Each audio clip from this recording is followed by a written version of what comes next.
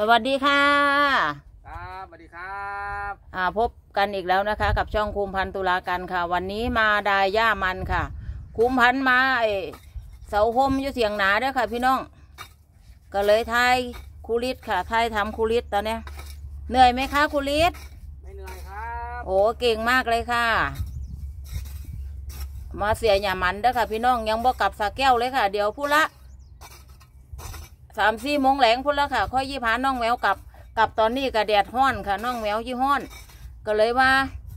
เอ่อมาเสียหยามันจากน้อยก่อนค่ะได้จากซี่หาล่องค่ะพี่น้องหยาหลายหลายคุมพันธุ์ใช้แบบเกษตรอินทรีย์เด้อค่ะพี่น้อง ก็คือกำจัดวัชพืชเองดายหญ้าเองแล้วก็ด้าที่เราดายออกมาเขาก็จะปล่อยให้แห้ง แล้วก็จะเป็นคุมหน้าดินต่อไปค่ะ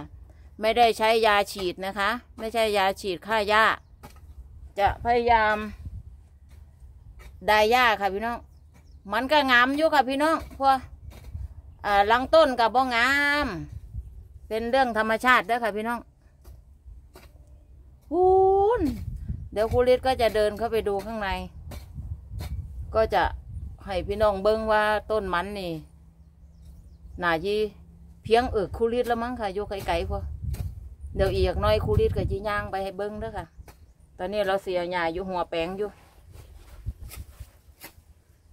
นี่ค่ะคูริดตรงเนี้ยค่ะ เนี่ยอยู่ใกล้ๆอีกที่หนึงอะเนี่ยเนี่ยเนี่ยเนี่ยอยู่ใกล้เทียงนาเนี่ยค่ะ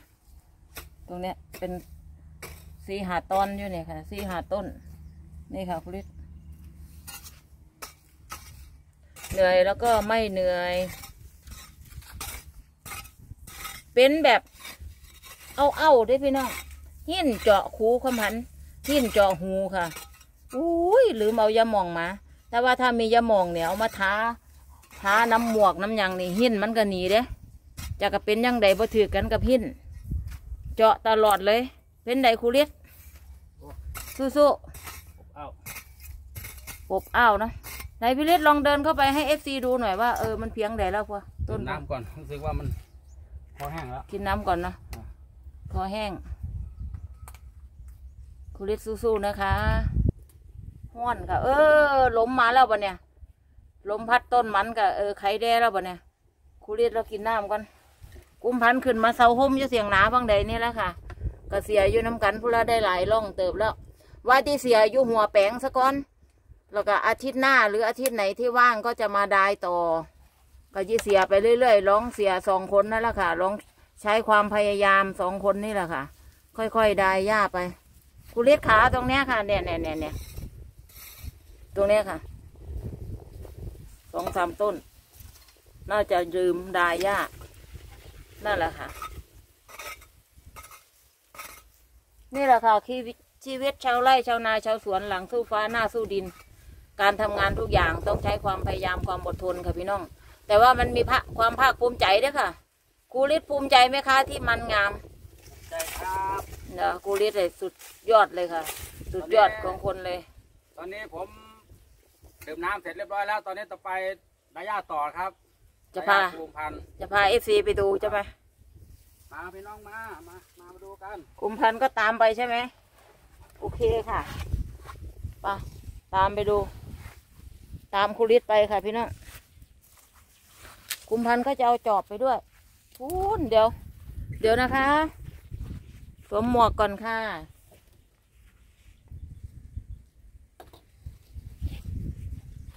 น้ำไปเบิ้งครูฤทธิ์กันค่ะ แล้วก็จะเอาจอบไปด้วยเผื่อไป เจอหญ้าก็จะได้ได้ไปพี่น้องคุมผันพาไปเบิ้งโอ้นี่ค่ะที่เสียมือเศร้ามือ ว่างใดนั่นนะคะพอตายเรียบเลยค่ะหญ้าตายดีดีเพราะว่ามันแดดหญ้าก็ตายคนก็จีตายน้ำห้อนอะไรก็ได้ บางที่ก็เป็นเหลืองเหลืองไม่รู้ว่ามันเป็นอะไรค่ะพี่น้องรากเน่าหรือเปล่าพี่ฤทธิ์ใช่ไหมเนาะนี่ค่ะโอ้โหญ้าหลายแท้ปาดเบิง เบิงพี่น้องดงนี่หลายหลายเพียญาปาดเบอร์เบิ้งคุริตเสียหยาด้อค่ะ ให้กำลังใจคุริตก่อนดูดักพี่น้องเบิ้งพวกส่วนมันนะส่วนมันคูมพันมันก็ติมีต้นใหญ่ต้นบ่ใหญ่ตามสภาพนะคะแต่ก็ภาคภูมิใจแล้วล่ะค่ะ ว่าเราทำได้ คือพอใจในสิ่งที่ตนมีค่ะ พี่น้องจงพอใจในสิ่งที่ตนมี แล้วเราก็จะมีความสุข นี่ค่ะ บางต้นมันก็ต้นน้อยๆบางต้นก็ต้นใหญ่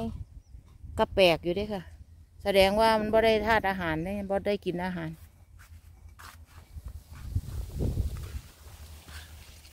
โอ้ตรงนี้ไม่ค่อยมีหญ้าค่ะ แต่ตรงนี้หญ้าเยอะมากเลยค่ะ ขอบคุณเอฟซีทุกท่านเลยนะคะ ที่เข้ามาเยี่ยมชมกดติดตามกดไลค์กดแชร์ เป็นกำลังใจให้กับช่องโคมพันตุลาการขอบคุณเลยล่ายๆเลยด้วยค่ะ ขอบคุณพ่อแม่พี่น้องทุกกำลังแรงใจด้วยค่ะ เด้อที่เข้ามาเยี่ยมชมมาให้กำลังใจ ก็นี่ค่ะ ก็เป็นการทำงานหลังสู้ฟ้าหน้าสู้ดินค่ะพี่น้องเสียหยามันเนาะเสียได้จากเล็กจากน้อยก็ดีค่ะ ก้อนที่กับสาแก้วเนี่ยค่ะพี่น้อง เพราะว่าถ้าเขาบ่เสียหญ้าออกนี่ก็มันก็ที่มาแย่งอาหารหัวมันมันกำลังลงหัวเด้อค่ะพี่น้อง มันกำลังลงหัวหลังต้นกะหัวท่อแขนแล้วละใหญ่แล้วค่ะ หัวมันนะ ถ้าต้นที่สมบูรณ์น่ะหัวใหญ่ซ้ำแขนแล้ว นี่ค่ะ เบิ้องกุลิตเสียหญ้าโอ้แต่สะอ่อนเนาะหญ้าพวหญ้างามบ่ได้กลับบ้านสองสามอาทิตย์นะมาเบิ้งฝนตกมานี่หญ้าหนาปึ๊ดเลยค่ะ แต่ก็ไม่ย่อท้อต่อ ปัญหาอุปสรรคค่ะ เพราะว่าคุมพันกับครูฤทธิ์นี่ เสียหญ้าเองทุกปีเลยค่ะบ่ได้บ่ได้จ้างคนเสียแล้วก็บ่ได้บ่ได้ฉีดยาฆ่าหญ้าเด้อค่ะพี่น้องเพราะว่าเฮ็ดแบบเฮ็ดแบบเอ่อธรรมชาติ แบบอินทรีย์ใช้แต่ปุ๋ยอินทรีย์ไม่ได้ใช้ยากำจัดวัชพืช ดินของเราก็จะไม่เสียค่ะ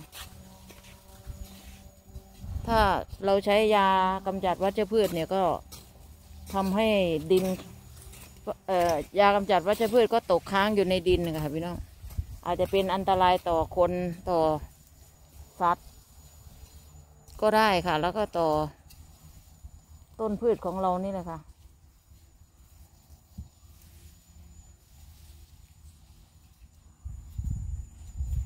มีบางปีคุมพันธ์ใช้ยากำจัดวัชพืช แล้วทีนี้คุมพันมาดายหญ้าเนาะฝนตกนี่แหละ โอ้ยคุมพันแพร่วสันพี่น้องขาไข้ขึ้นไปเลย เพราะฉะนั้นยากำจัดวัชพืชนี่อันตราย อันตรายค่ะพี่น้องคนแพร่กับแพร่หลายหลีเด้ เพราะฉะนั้นก็เราทำเกษตรอินทรีย์ตามธรรมชาติดีกว่า อ่าเราก็ มุ่งมั่นตั้งใจในการทำทำด้วยความตั้งใจค่ะพี่น้อง ผลผลิตถึงแม้ว่าได้ได้มากได้น้อยอะไรเราก็พอใจในสิ่งที่เราทำค่ะ ภูมิใจหลายแล้วค่ะ พี่น้องทำให้เรามีรายได้เสริม มีรายได้เสริมแล้วก็เป็นการสืบสารต่อยอดจากคุณพ่องามจมชื่น แม่ช่ำจมชื่นค่ะ เพราะว่าที่ดินผืนแผ่นนี้ก็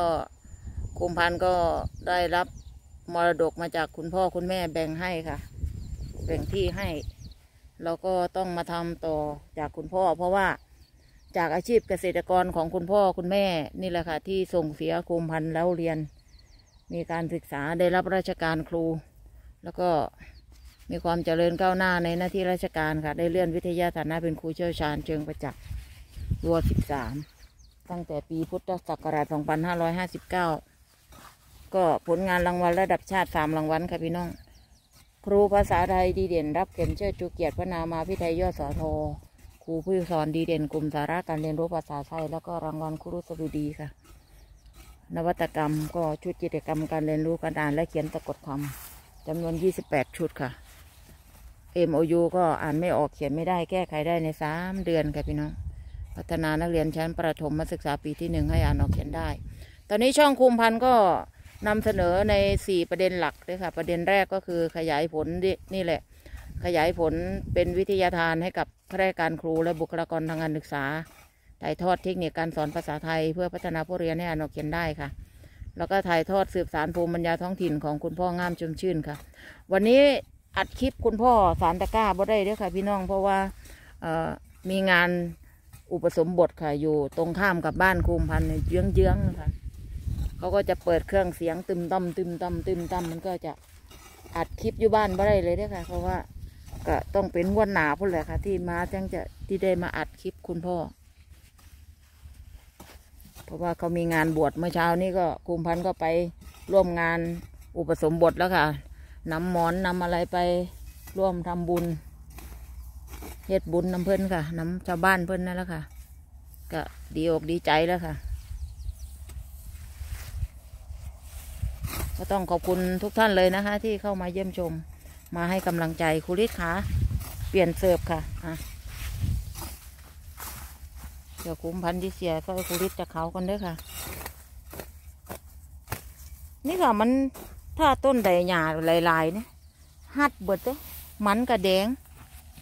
เนี่ยมันกระแดงเบิดเลยนะครูฤทธิ์นะอะครูฤทธิ์ถือกล้องให้คุ้มพันธุ์ยังไงคุ้มพันธุ์ที่เสียมัน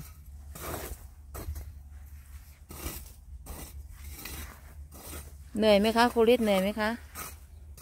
ไหนก็ทนครับโอ้ดีมากเลยค่ะครูฤทธิ์ก็เป็นสามีสุดที่รักคุมพันธ์ค่ะ เป็นทุกอย่างเปรียบเสมือนพ่อคุมพันธ์คนหนึ่งเลยค่ะ เพราะว่าดูแลคุมพันธ์เป็นอย่างดีทุกเรื่องเลยค่ะ ถ้าไม่มีครูฤทธิ์คุมพันธ์ก็คงไม่ประสบความสำเร็จถึงทุกวันนี้นะคะ เพราะว่าคุมฤทธิ์เขาอยู่เบื้องหลังคอยสนับสนุนทุกเรื่องค่ะ ขอบคุณมากๆนะคะ คุณครูสำลีด คุณสำลีดตุลากันค่ะ ขอบคุณเอฟซีทุกท่านเลยนะคะ ที่เข้ามาเยี่ยมชมกดติดตามกดไลค์กดแชร์ พี่น้องคุ้มพันธุ์ที่ไทยผูให้เบิ้งด้วยค่ะพ่อภูเลนคานู่นเลยค่ะภูเลนคาสวยสวยค่ะพี่น้องเขียวมองไปทางไหนก็สบายตาเนาะอยู่ท่ามกลางสวนมันเนี่ยค่ะพี่น้องสบายตาดี สุดยอดเลยค่ะ ข อบคุณ FC มากๆนะคะ คุณฤทธิ์ค่ะ สวัสดี FC ค่ะ ขอบคุณมากค่ะครับพบกันคลิปหน้านะคะ สวัสดีครับสวัสดีค่ะ ครับ